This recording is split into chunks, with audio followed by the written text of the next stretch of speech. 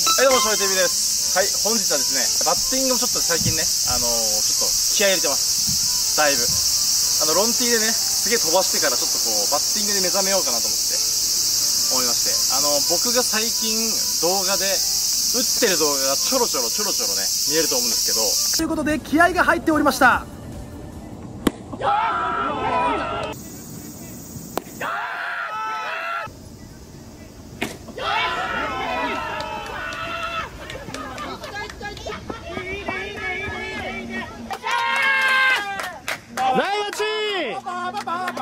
5回表萌えちゃんの圧巻の投球に打線陣が応えます。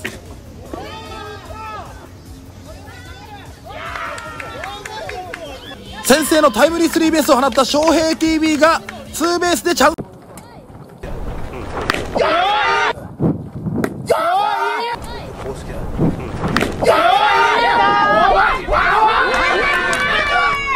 ロンティーは、とりあえず飛ばす練習なんで、思いっきりもうこうやって、コーン飛ばせばいいんですよ、ロンティーは。しかし、試合ではそういうわけにいきません。試合ではいかに、ピッチャーが投げるボールを当てて、野手のね、いないところに打つか。すげえ大事です。イコールホームランです。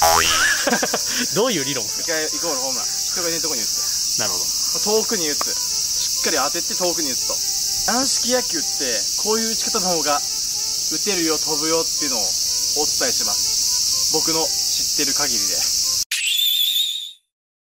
まず軟式野球はバットが複合バットが多いんですよね。結構ね。みんな使うじゃないですか。ビヨンドとかさ。なんかあのウレタンまあウレタンね。ウレタンとかカーボンとかあるじゃないですか。まあ空気とかもね。あると思うんですけど軟式で一番大事なのはあの10割で振らんこと。思いっきり振らんことが超大事です。はい。あの軟式って思いっきり振るとボールが潰れるわけですよ。イコール飛ばないわけですよ。強打者思いっきり振ってる打者で飛ばす人ってあんまりいないけどこう結構こうポイントが前の人。が飛ぶ飛んでるイメージがあります。俺はね。どうしても打率を上げたいんだったら7割ぐらいで振った方がいい。です皆さん。はい。ちなみに最近の俺はずーっと短く持ってます。実は。このがたいで。この体型このがたいで短く持ってます。ということで気合が入っておりました。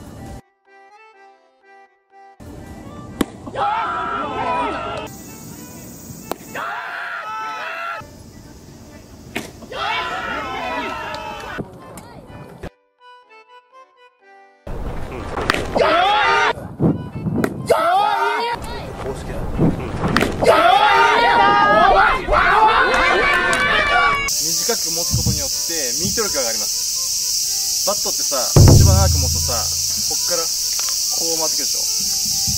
こう回るでしょ。で短いとさまあ極端に短いとさこうやってすぐ出てくる。わかる？はい。もう誰でもわかるよね。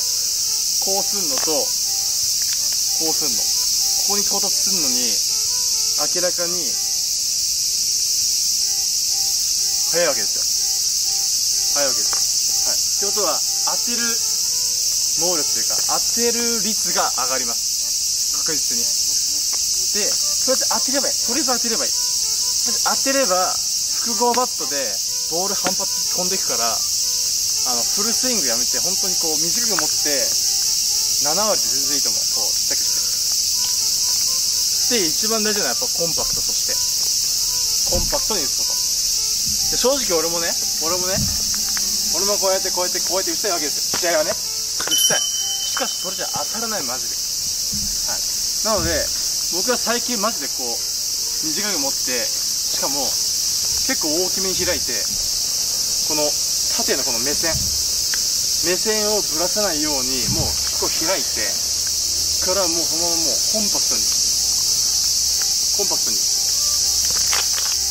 ちます。これで最近の率が上がってるんですよ本当に軽く本当に軽くちょんって当てるだけであの左中間オーバーレフトオーバーセンターオーバー何度も打ってます。まあ動画に出してない部分もあるし向こうさん動画で出てるのもあるしやっぱりねあの長く持つとかっこいいと思うんです正直ね。正直かっこいいと思う。しかしかっこよさは置いといてまず結果を出すと大事。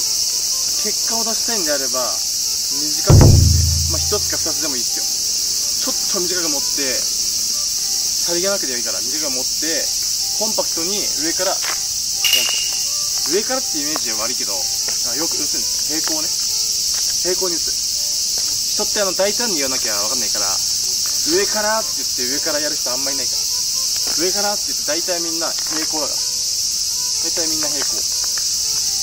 意識すればねちゃんと上から叩こうってイメージがあれば結構みんな平行に打ってます。実際バッティングってこうボールをこういう回転で飛ばしたいんで上からというかこう平行にあの点じゃなくて線で打ちます。この線で打ちます。こういう点じゃなくてこのラインにこうやって入れていく。線で打ちます。はい。なんで僕はもう短く持ってもうできるだけこう目線をこうやってこうこれでずらしたくないんで広げてここから打っております。はい。これはマジね騙されると思って一回やってほしい、まあ、公式は分かんないですよ。公式はもうちょっとこのなんだろうなシナリオを使うというか一回こうシシナリオを使って打った方が飛ぶと思います。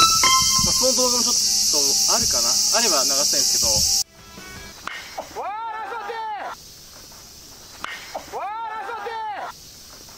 さあこの辺りも。打った瞬間フェンスを。緩い球を軽くこうやってヒュンって打っただけであのセンターのもう向こう側のもう崖のところまで飛んでったんですよ。え、その飛ばしたんですどうしたその映像あるんで多分載せると思うんですけどこの今のはい。状況ね。載せると思うんですけどそれぐらい本当に力を入れずに飛びます。はい。それをちょっとあの今見てるあの僕はね基本的に小中高生に言ってます。はい。大人の人はねあのもう知ってると思うんでジムとか行ってください。ジムとか？ジムとか行ってジムとか。行ってくださいよ、はい、小中高生向けに言ってるんですけどはい本当に一回こう強打者でもいい。強打者でもあの打撃に困ってる自信がない方これはちょっとこう短めに持ってみてそしたら早くバットが出て当たる率が上がります、はい、決してねかっこ悪いことじゃありません。全然かっこ悪くないですよ。本当に。短く持ってももう本当当たって打てれば本当にもうあのヒーローですから。ね。それはちょっとあの意識しながらやってほしいと思います。はい。というわけで本日はですね、えーバッティングの話をしました。なんかね僕のねあの悪いところを出そうと思ったんですけどなんか今すごいこう確かに最近俺バッティング調子いいだと思って。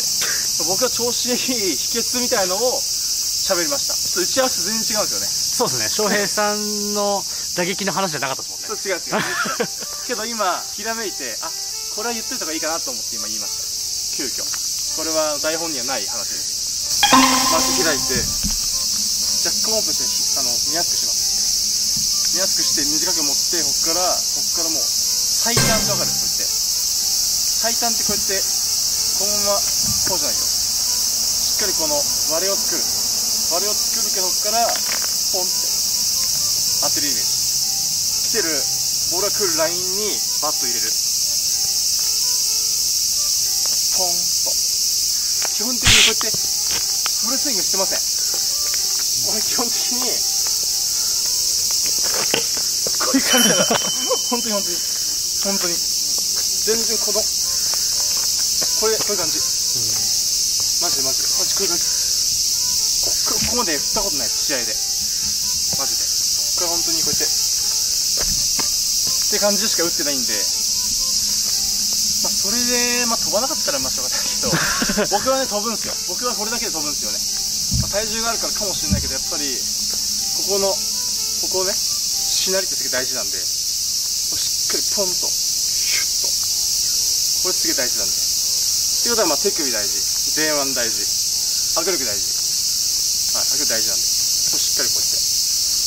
打っていけばいいかなと思いますはい、えー本日の動画は以上となります。チャンネル登録コメント高評価よろしくお願いします。それではありがとうございました。プリントするグローブはこれプラスこちら。見ますかはいこちら。これはい。HZ プロステの源田選手モデルのこのバスケットウェブのグローブ。軟式用です。基本的にチャンネル登録とはい僕らのインスタフォローは必須ということで、翔平 TV の、えーチャンネル登録者が8000人突破した、プラス、モンタナさんの、えーインスタ、えー貼ってますんで、えーフォロワー数が3000人突破したら、プレゼント企画を開始と。翔平 TV2020 年モデルの T シャツができました。走れ大井チャンネルの大井くんも一緒にモンタナスポーツさんで販売中。文字にシルエットを入れたとても斬新なデザインとなっております。皆さんぜひとも1枚ご購入してみてはいかがでしょうか。詳細購入リンクは動画の概要欄からチェックをしてください。それでは、あうりょした、あつおろしくお願いします。それでは、ありがとうございました翔平 TV T シャツオンラインショップで購入できます。女子プロ野球選手や野球人みんな来てます。